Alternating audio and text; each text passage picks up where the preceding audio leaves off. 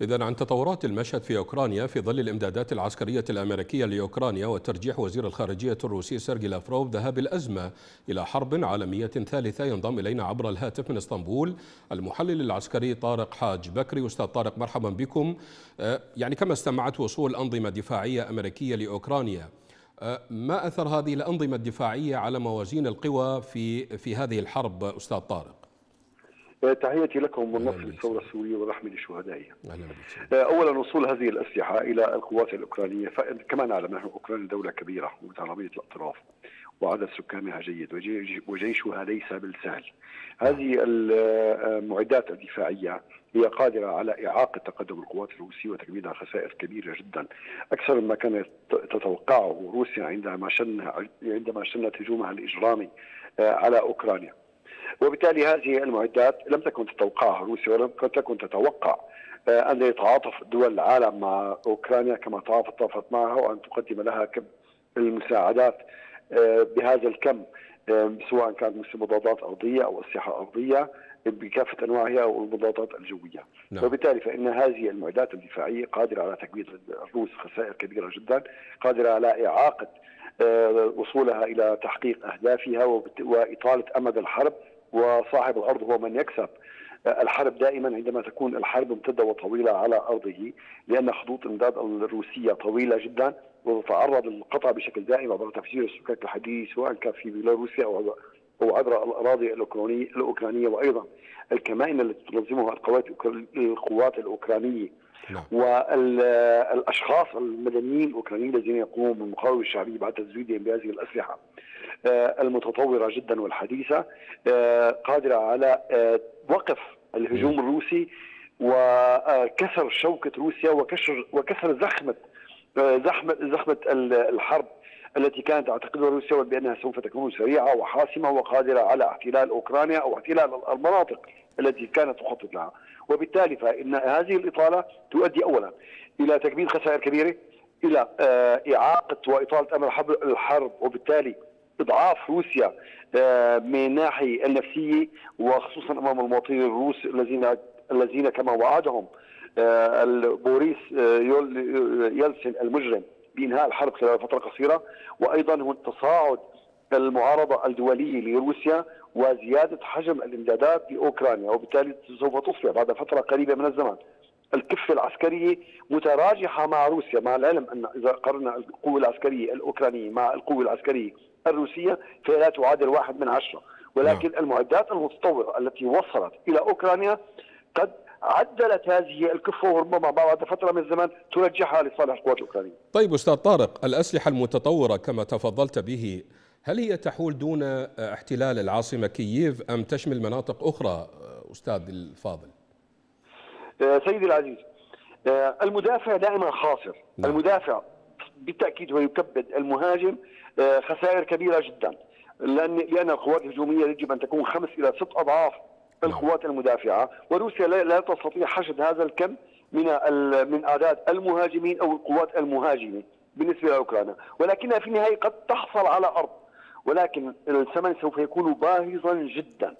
ولكن هذه المعدات مع الزمن وزياده المقاومه الشعبية وزياده الدعم الدولي إلى أوكرانيا وخصوصا تأمين الغذاء والسلاح والمضادات الجوية تستطيع قلب الموازين المعركي والانتقال من المرحله الدفاعيه إلى المرحلة الهجومية نعم. ولكن ليس هجوم عسكري كافح وإنما هجوم آه، هجومات مضادة قد تؤدي إلى زحزحة القوات الروسية على المناطق التي احتلتها آه، قد تؤدي إلى زيادة خسائرها البشرية وهذا يزعج روسيا كثيرا نعم. وبالتالي تؤدي إلى انسحاب القوات الروسية من الأراضي الأوكرانية لاحقا.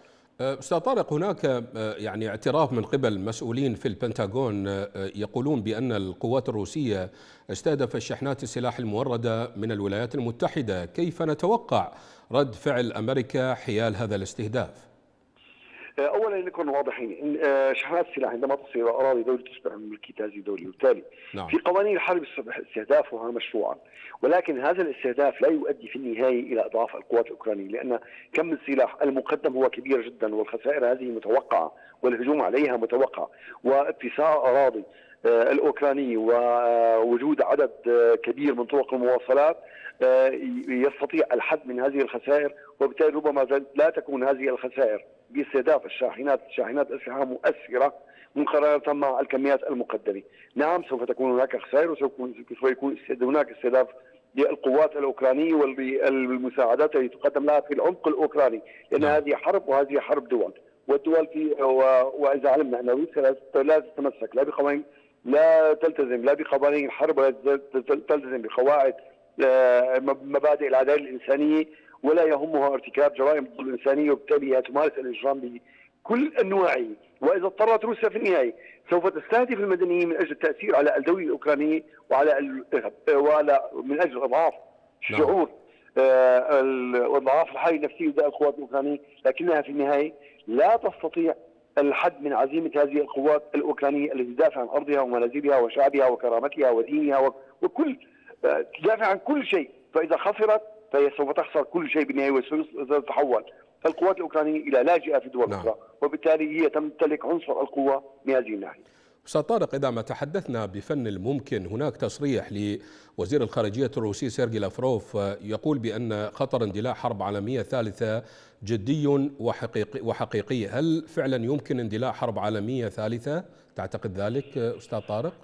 لنكن واضحين الوصول إلى مرحلة الحرب الثالثه يعني هذا يعني استخدام آه، الأسلحة النووية والأسلحة الأسلحة الهيدروجينية والأسلحة النيوترونية.